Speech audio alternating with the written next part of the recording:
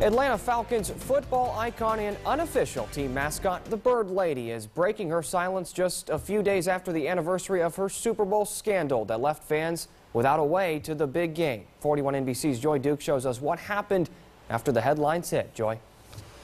Michael, last year, Carolyn Bird Lady Freeman went from adored Falcons superfan to public enemy number one after her plans to take dozens of people to Houston for the Super Bowl fell through. It cost her endorsements, friends, and more than anything else, her reputation. I caught up with Freeman in a one-on-one -on -one interview, and in true Bird Lady fashion, she says she's flying higher than ever before. It's a story you'll see only on 41 NBC. Okay, since we last talked, Lots of things have happened. For famed Atlanta Falcons fanatic Carolyn Birdlady Freeman, Super Bowl 51 was one she would never forget.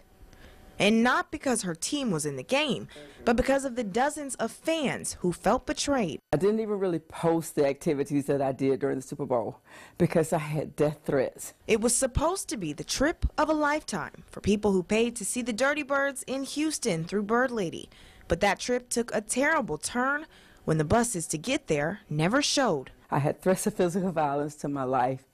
It was horrible. It was really bad. Now, one year after the Super Bowl scandal that shocked fans and made headlines, Bird Lady opens up. I don't ever want to put myself or anyone else that trusts me in that position. But the wonderful thing about it is that the people that did, they know me. Um, there was just a couple of them that, that, that, you know, are not personal friends that caused all this commotion, but the majority of those people have traveled with me before, and they weren't worried. She says 2017 was a year of hard lessons. It hurt. It hurt a lot. It hurt because a lot of people that turned on me, I thought were friends. Lessons that cost her friendships. are Squeaky clean image. Um, as you know, there were a lot of things that were supposed to happen for me. Um, I was the official spokesperson for Xfinity, uh, the cover of four magazines, seven magazine articles. I gave that up because I chose to spend my time getting those 24 people who had paid their money to SYI to Texas. Looking back now, she says her biggest mistake was not doing her homework on the man she blames for the whole mishap. The lesson is that I have to check everybody out. I cannot be so kind and giving and trusting. Um, I should have done more research on this guy.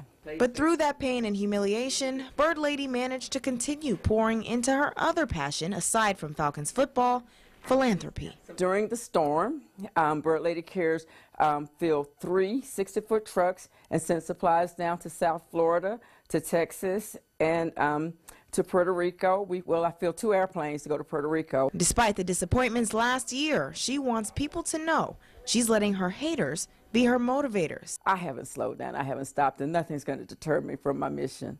So, you know, I'm, I'm here to help people and to give back, and that's what I'm going to continue to do and support my Falcons. Because we're going to the Super Bowl next year, you know. It was a plan. Still rising up, still helping however she can, and still that same old quirky but caring Carolyn. out!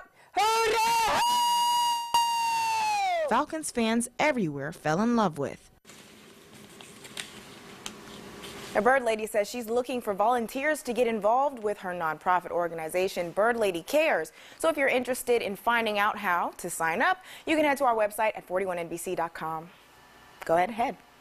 Well, many of the projects Bird Lady is working on will directly impact people in the Middle Georgia community, including her efforts for students, the elderly, and any other community members in need.